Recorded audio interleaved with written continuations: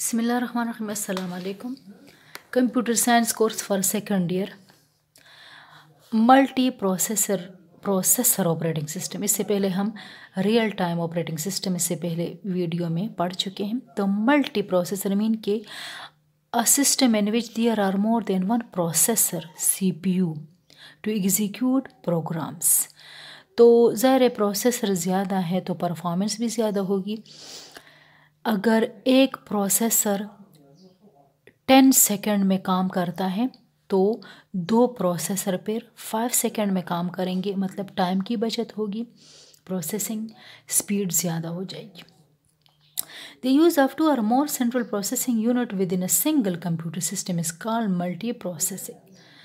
Single system unit है single computer system है तो मोर देन वन सीपीयू है।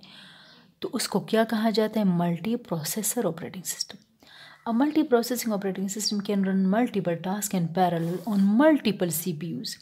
मतलब दस प्रोस टास्क हैं और आपके पास टू सीपीयू है। टू प्रोसेसर है। तो फाइव एक एग्जीक्यूट करेगा फाइव दूसरे एग्जीक्यूट करेगा। And thus there should be an operating system to control फिर इस मोर देन वन प्रोसेसर को कंट्रोल करने के लिए जो ऑपरेटिंग सिस्टम इस्तेमाल होता है मतलब वो ऑपरेटिंग सिस्टम जो मोर देन वन प्रोसेसर को कंट्रोल कर सके। पैरेलल एग्जीक्यूशन पैरेलल मीन के दो, तीन, चार प्रोसेसर हैं और एक साथ एग्जीक्यूशन कर रहे हैं। तो इसको क्या कहा जाता है? Multi processing operating system multi-process operating system are the operating system that perform this task.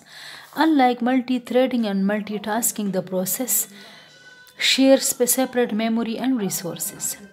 The most commonly used multiprocessor operating system are symmetric multiprocessing and asymmetric multiprocessing. And symmetric अब इसकी दो अकसाम हैं मल्टी प्रोसेसिंग ऑपरेटिंग सिस्टम की in symmetric multi processing operating system are the C P U are equal तमाम C P U equal है symmetric का मतलब है same but in asymmetric multi processing system there is one master CPU एक master होता है। और बाकी जितने भी सीपीयू है, वो स्लेव कहलाते हैं। वो मास्टर सीपीयू उनको रिक्वेस्ट करता है, उनको कंट्रोल करता है। अब इसके एडवांटेजेस क्या है? If you have to run multiple program at the same time, multiprocessor can be very useful another advantage Another advantage mm, of multiprocessor is that more and more program are multi-threaded. Multi thread का मतलब है एक programme को divide किया जाता है parts में और हर एक पार्ट को कहा जाता है थ्रेड तो जितने भी फॉर एग्ज़ाम्पल तीन सीपीयू है तो एक एक पार्ट प्रोग्राम का हर एक सीपीयू को दिया जाता है एग्जीक्यूशन के लिए.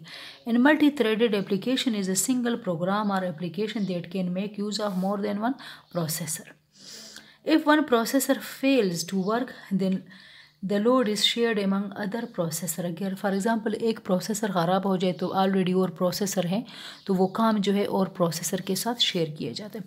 अब इसकी लिमिटेशंस क्या है? मतलब आ, इसकी खामियाँ क्या हैं? हाई कॉस्ट इसलिए कि प्रोसेसर तो सबसे एक्सपेंसिव होते हैं।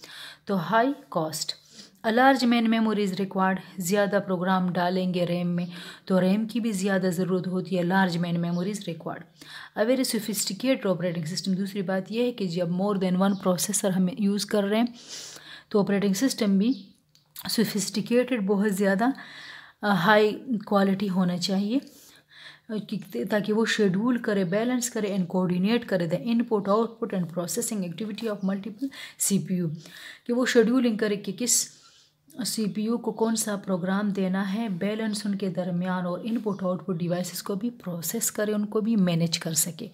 तो ये था आपके पास मल्टी प्रोसेसर ऑपरेटिंग सिस्टम।